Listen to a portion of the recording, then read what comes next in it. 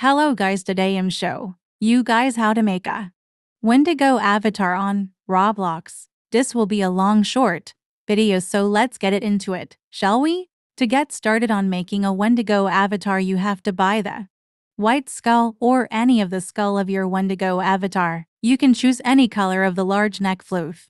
Item of your Wendigo avatar. I chose large black neck floof part of my avatar.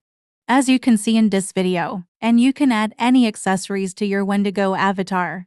However you want of your choice. Pants must be 2006-2008 old avatar pants if you can't find it. You can always look at my profile on Roblox. And let's not forget about the different skulls. Two of the Wendigo avatar their skull and white skull that I used. And lastly, you can make your avatar with hair. If you want to either R6 avatar or R15 however you like to make your Wendigo avatar looks, don't forget the skin colors of the Wendigo avatar. You can choose any color of your choice of your type. I hope this video helps out a lot.